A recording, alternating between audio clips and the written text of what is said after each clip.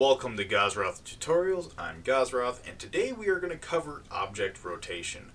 And in this demonstration, I have four cubes, and the first three are going to demonstrate the different ways that we can rotate a game object. And this last demonstration is a little fun I had, and I'm just going to kind of an example of what you can do with uh, the different code blocks. For this one, we are rotating to, and then when we take our hand out, we're rotating by. The difference is rotate to is global, and then rotate by is more of a local. Again, this one is the same thing. We're rotating to, but instead of instant, we're doing it over time. And then when I take my hand out, it does the rotate by in the reverse over time. Now this one uses physics. So when I put my hand in here, it is going to spin in whatever direction I want until its physics properties force it to slow down and eventually stop. And then when I take my hand out, it's going to do it in reverse. And here, a random loop, basically all this does is it randomly selects a rotation and it will rotate to that and then loop through that again and again and again. Well, let's take a look at our scripts. We have our rotate to by, so when trigger is entered by player, we are rotating cube to 45 on the X, and then when the trigger is exited by the player, we are rotating the cube by a negative 45 on the X.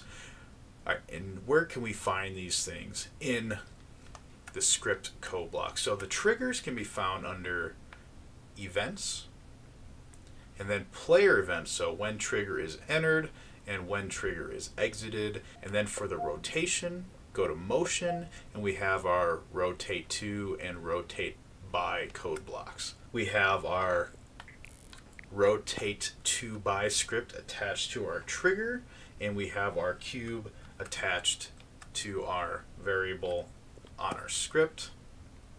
The only thing I have changed here is the collidable is set to off and when an object is being manipulated by a script you want it set to animated. It should automatically do this for you but if it doesn't just make sure you go in there and select animated. For our rotate to by over time we are still using our triggers and instead we are rotating our cube to 45 over one second. And then when we exit our trigger we are rotating cube by a negative 45 over one second.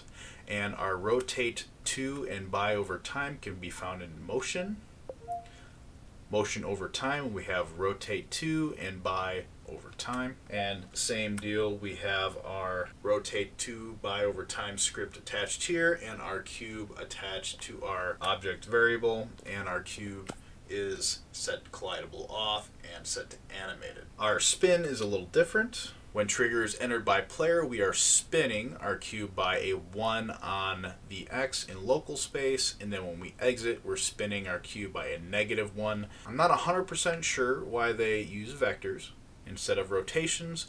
However, I do believe it has something to do with how they handle their physics. And our spin cube by in local space and spin cube by code blocks are found under motion and then physical motion we have our spin and spin in local space. Our trigger is set up the same as our previous triggers however our cube is set up a little different. Since spin is a physical motion we require physics so we have to have our motion set to interactive and our interaction set to physics. And then in our physics tab, we can manipulate different aspects of the object. All of these can change how fast this spin will slow down. And then we have our random loop script, which is a little different. When trigger is entered by player, we are sending the rot event to cell. So when rot is received, we are setting rotation, which is a rotation variable named rot. We are setting rot to a new rotation and we're setting the x, y, and z of that rotation to a random integer between 1 and 360. We can find our send and when event is received under events and towards the top we have events so here's when event is received and under event actions we have send event to object and in order to set we have to go to values and at the very top we have set to we are setting rotation to a new rotation which can be found under operators, and then towards the bottom we have vector math, and here it is, new rotation from x, y, and z. And then our x, y, and z is a random integer which can be found under operators above vector math. We have random numbers, and here is our code block, random number, and we're setting it between a 1 and 360, which we can find under values, is our number input. We are rotating cube by the rotation that is set over one second period, and then we are sending, we're creating a loop by sending rot to self after 0.9 seconds. And we can find that code block under events where it says send event with delay. Now the reason I have a 0.9 instead of 1 is to prevent any stalling between event calls. That way it will continue to rotate to a random rotation seamlessly.